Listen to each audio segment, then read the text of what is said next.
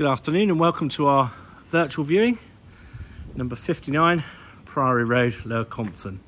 We'll start in Priory Road. As you can see, you have a garage with an up and over door, power and light, a hard stand there for one vehicle.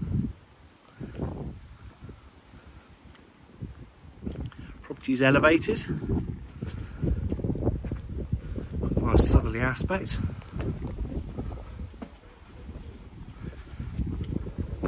Sort of communal steps and path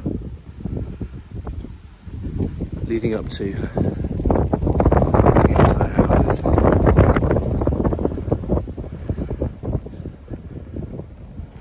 Here we have number 59. It's a nice enclosed front garden. There are two wood stores here. You'll see why in a moment. A sunny patio. And further waterproof wood store. PC double glazed front door, leading into an entrance vestibule. So we've got wood effect flooring. Probably had all of its internal doors replaced. Very nice wooden ones. And walk straight into a lounge.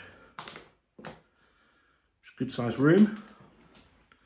Particular feature is its Aga wood burning stove on a nice slate hearth with a wooden mantelpiece.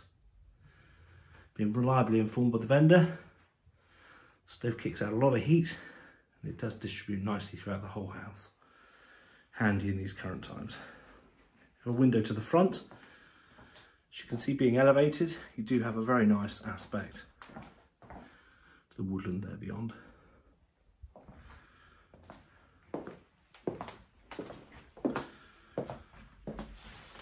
House is effectively arranged over three or four different levels and sub-levels. The kitchen dining room.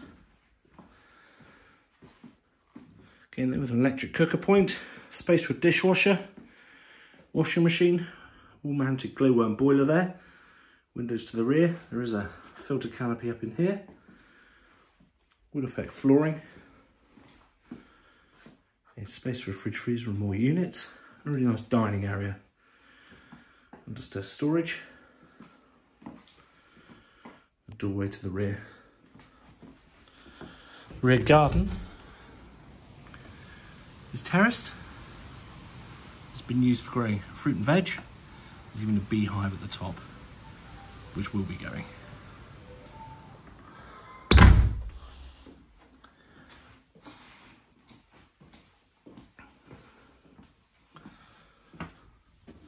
Continuing up to the next sub landing.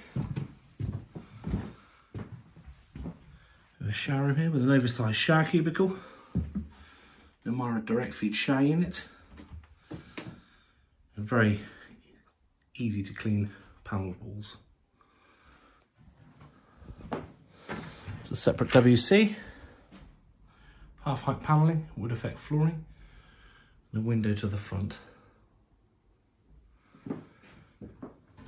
Has three double bedrooms. We'll start in bedroom two. A spacious double. It's very, very nice open aspect. You can see space for a wardrobe. Bedroom three. Again, the double with a window to the front elevation.